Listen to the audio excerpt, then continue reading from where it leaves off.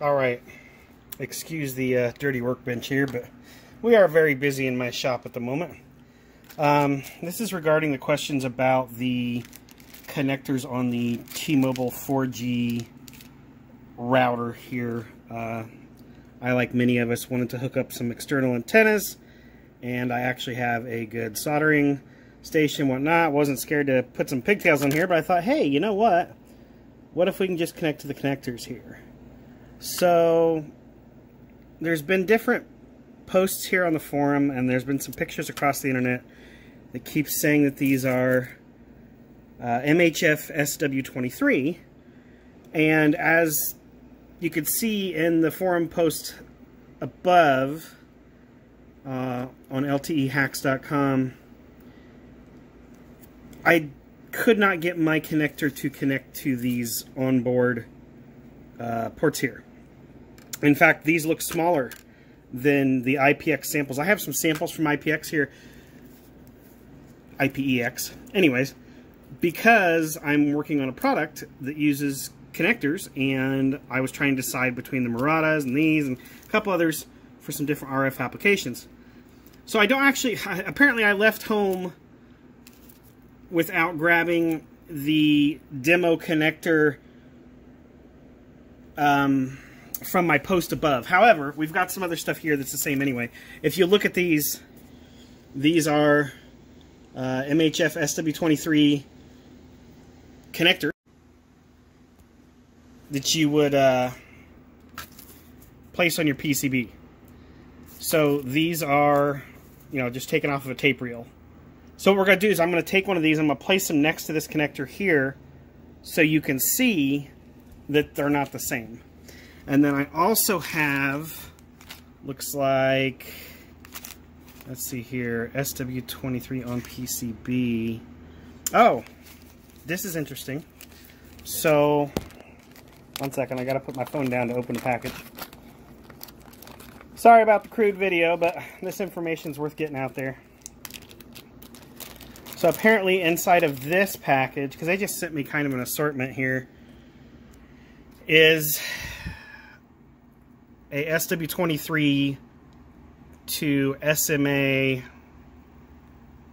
splitter board of some sort. So I don't know if I haven't looked up at the data sheet on these how it's split to two of these incoming outgoing and then I'm guessing if you plug in your test port to the middle it breaks the connection and then probably just uses your external antenna hooked to it. So I got that. Um, got a couple of those. And then I also have the, one second, I'm going to put the phone down again here.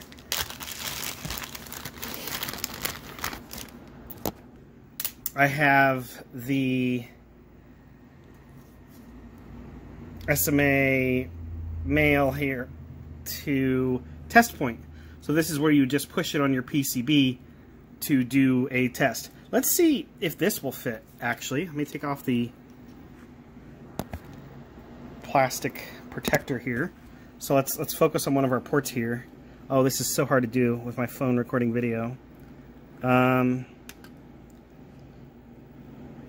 so just judging by the feel of it, it doesn't feel, and I know this is just push fit, right? But it doesn't even feel to be the right form factor. So I don't think it's SW23 on the T-Mobile router here. Now, let's find out for sure, right? So we're actually going to take some of the, one of these out of the tape strip here and lay it on the PCB next to the one on the T-Mobile router there, right there, and we'll find out. So one second, let me open this package. Try not to lose these because I need them for my project. So here we go. We're just going to peel back the tape these are labeled as MHF SW23 PCB connection. Oh boy, they've got tape on this and everything. One second, I'm going to put you on a kickstand here. There you go. You can stare at the edge of the board. While I get some tweezers to get one of these out, if I can find some tweezers. We are just coming off the holiday season here, so we are incredibly busy and backed up. But again, I thought this information was pretty valuable, especially, I don't know, if LTE Fix already pre-ordered some kind of pigtails for these 4G routers, they might want to cancel their order if this is indeed wrong. Um, not only that, but it looks like the 5G router has actual MHF connection spots inside of it that we could hack some antennas onto without doing any soldering at all. But, uh, sorry, it's taken me a second to get one of these out of the strip. Okay. God, these things are tiny. Okay. So here is the MHF SW23 connector directly from IPEX. I'm going to place it next to the one on the board here on the, the T-Mobile router. I'm going to refocus my camera. As you can see, they're quite a bit different. Um, yeah, not even close.